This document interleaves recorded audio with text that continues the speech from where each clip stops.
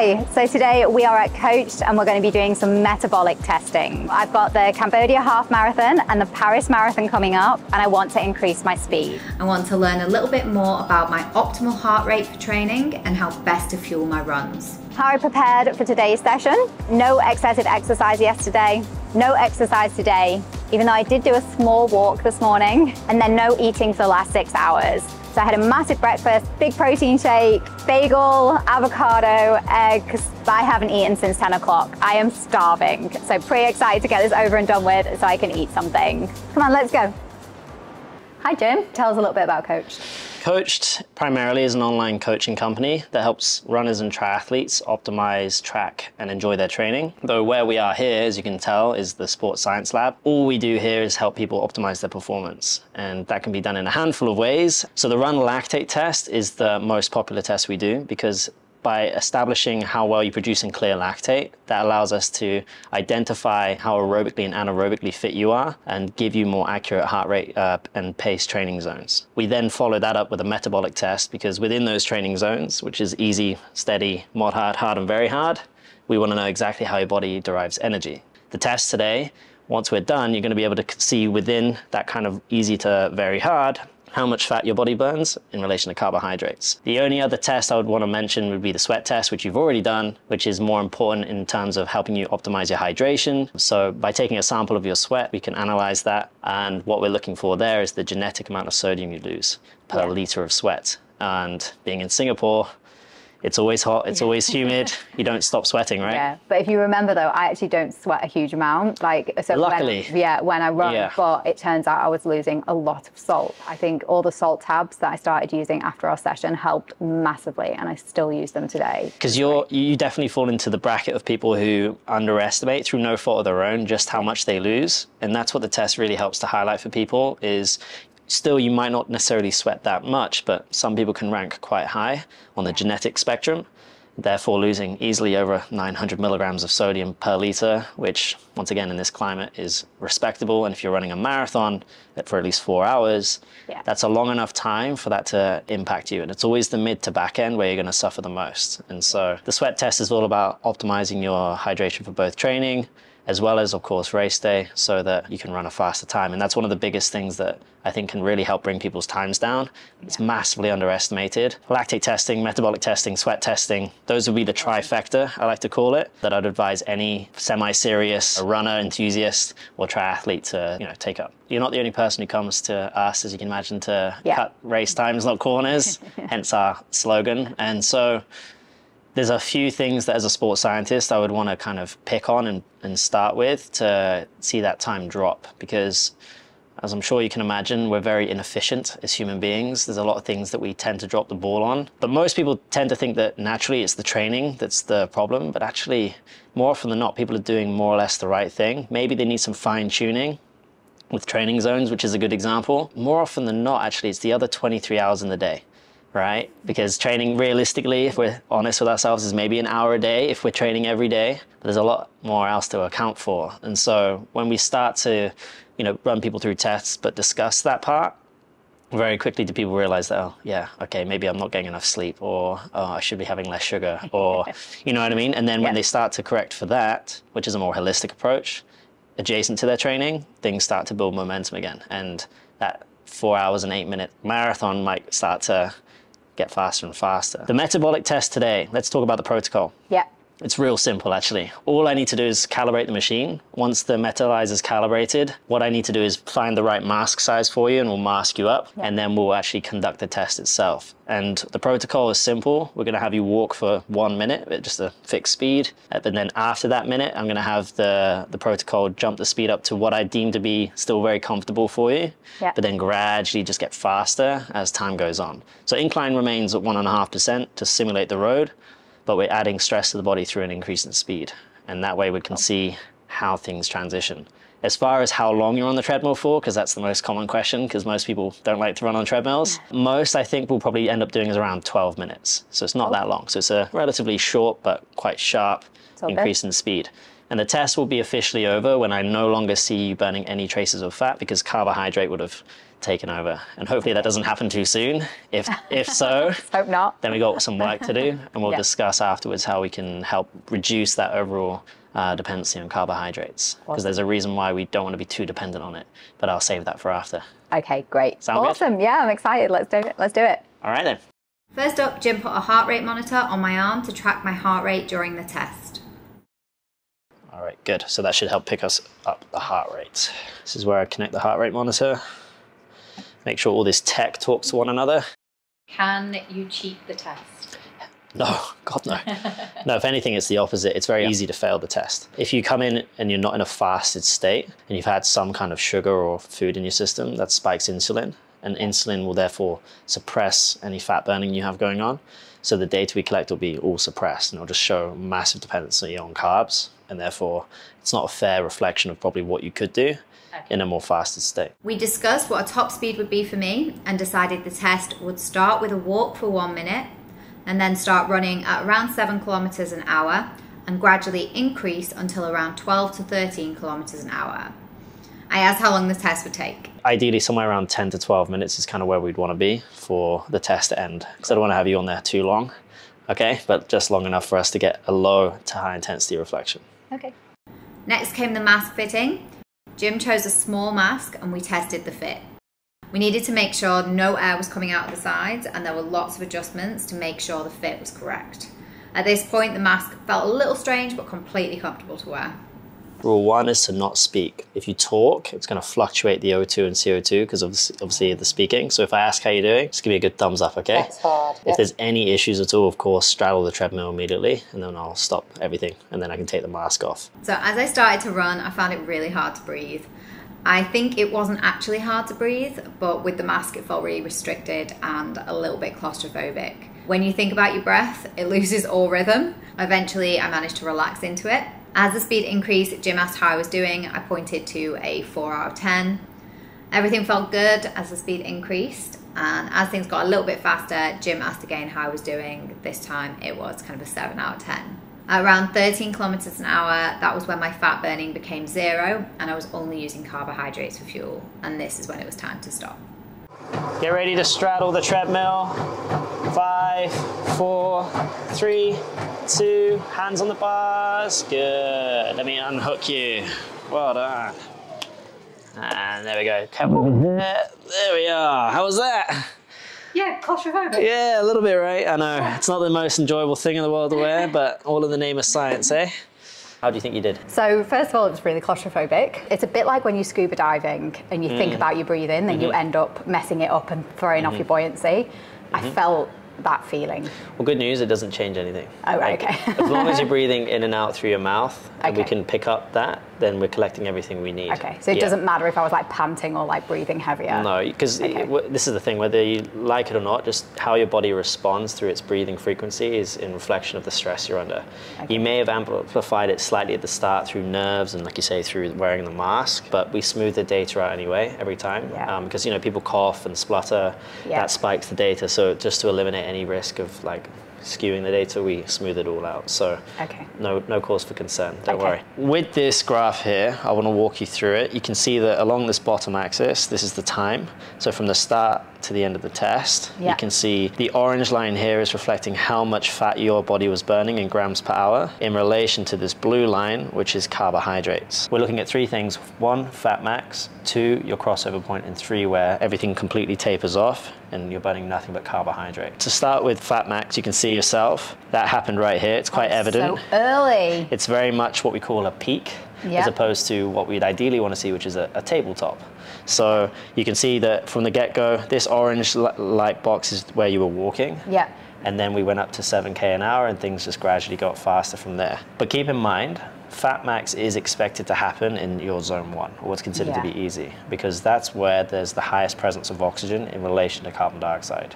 Because there's two points here: how much fat are we burning? That's one, and then once again, how long does it last is another. The maximum amount of fat you were burning was 36 grams of fat per hour. Now, Okay. what does that mean? Someone who's deemed fat adapted can burn up to 60, Wow. Okay. okay, or a gram per minute. So if we can, I'd say, consider you to be 24 grams shy, is my math correct? Yes, it is. we've got some room for growth. Yeah. But as you can see, it's not just 36 grams, but it's very short lived 36 Yeah. grams. It does not take long before things start to taper off because carbohydrate is starting to pick up. Yeah. Now, the second point, as you can see, is what we call the crossover point. Now, that happened right here, which was at a heart rate of 148 beats per minute Yeah. and at a speed of 9.2 kilometers per hour. Now, remind me, what is your desired race pace? I wanted to get under four hours. So a 358 would require you to run 540 per K. That's without stopping. That would mean you'd have to run 10.6 kilometers per hour. We would like to move this as much as we can towards your desired race pace. Yeah. Because it's at this point, or the crossover point, where you are 50-50 between Yeah. getting your energy from fats as well as carbs. Now, if I just highlight the carbohydrate output, you're burning 74 grams of carbs per hour. Yeah. Now, if you run for four hours, times that by four, you know your overall glycogen or carb output. As far as the, and this is the golden rule of thumb, by the way, this is one of my key tips for today. I would encourage you to try and match your body weight in grams of carbs per hour, right? Okay. So you know your body weight? So my weight's like 47. Okay. Now, with that being said, do you Yeah. match that every hour in terms of carbohydrates? No. Right. So your no. intake is much lower and your output is 76 grams, let's just say, at this uh, point here. Yeah. You can quickly see how, as one, two, three hours go by, that uh, uh, carbohydrate deficit is only going to get bigger and bigger and Yeah. cause you more and more problems. Yeah. The goal should be to close that up, that gap, as much as possible before even race day rolls around and Yeah. bring this dependency down so that you don't have to be as uh, you know dependent on gels or Yeah. any form of carbohydrate intake. Yeah. But the sad truth of the matter is most of us are a little bit more carbohydrate dependent. Therefore, if you were to try go about running a marathon, you might have to work a little harder to get that back in your system. Yeah. After your crossover point, what's really good about this is that it took a while for fat burning to taper off. And that's a reflection of someone's aerobic fitness. So actually, the fact that it took a while to actually come all the way down to zero is a good thing. And it gives me confidence that actually, even if you were to push the limit a little bit and go beyond that 50 50 split, Yeah. as you can see, it takes a while for it to start to really get sharper and sharper. You should be able to perform relatively well.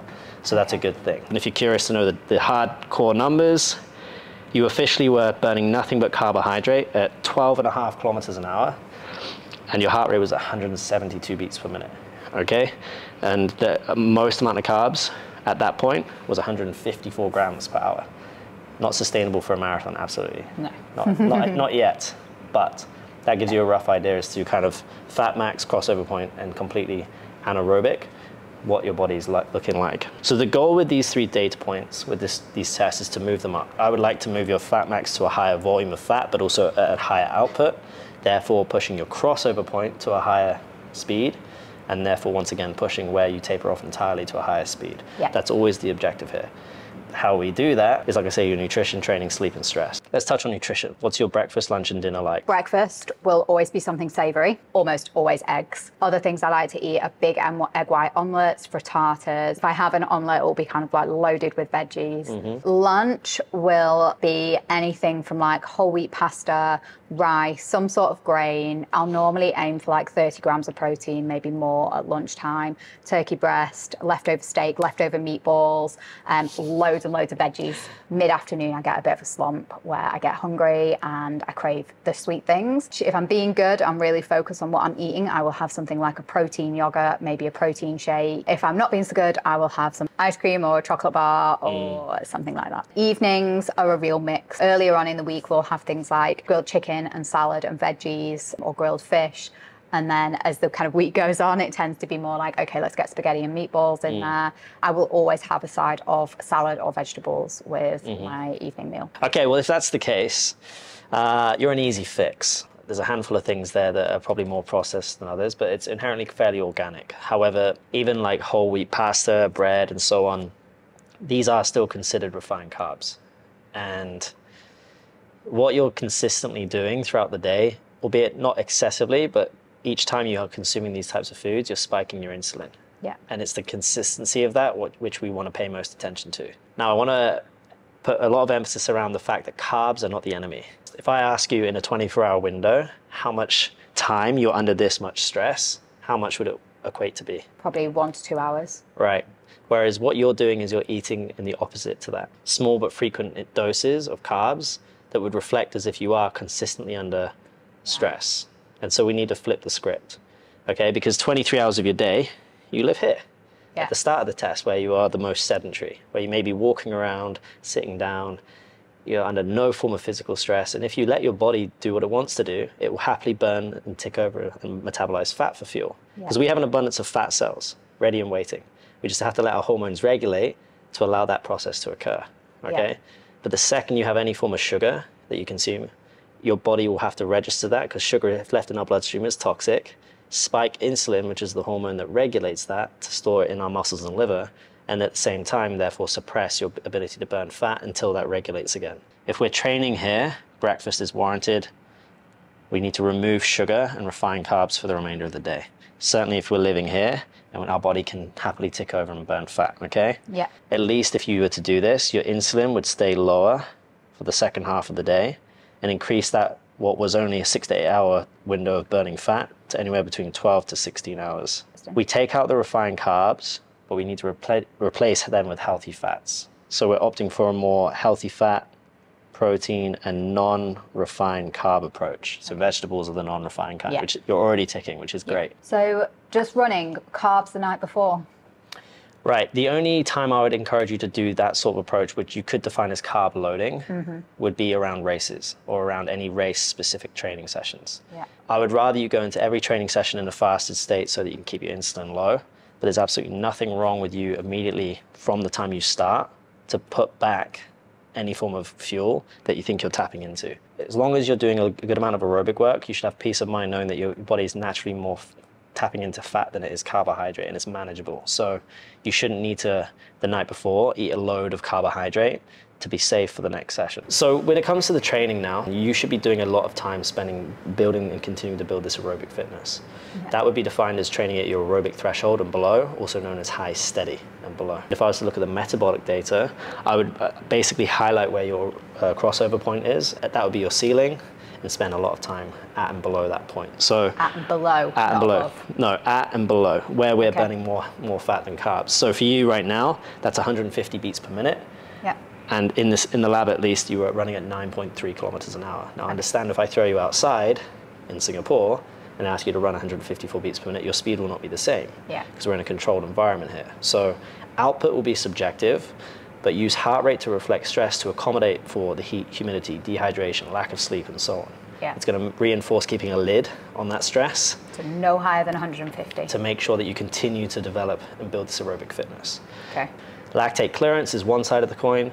Lactate tolerance is another, which you are definitely ticking the box for. You can, you're doing your strength training, which is one format. Yeah. Speed runs, hopefully you're doing a proper speed run each week, and then running hills. Hard to come by here, I know.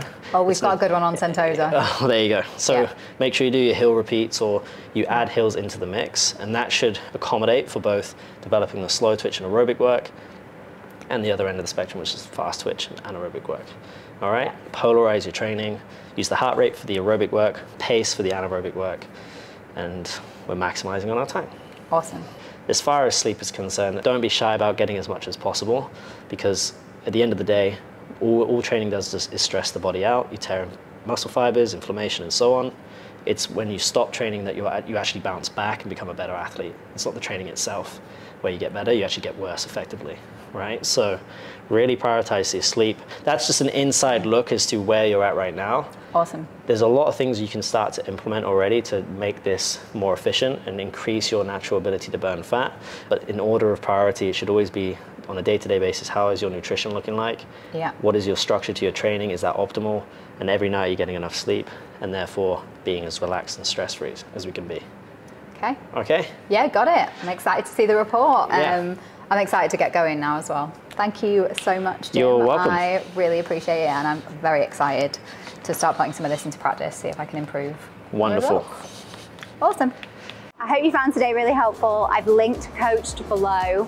And if you've got any questions, drop them in the comments. And if you want to follow my training, subscribe. And uh, I'm going to be posting a few more videos about how I'm getting on and how these different international marathons are going. Thanks so much for watching. I'll see you soon. Bye.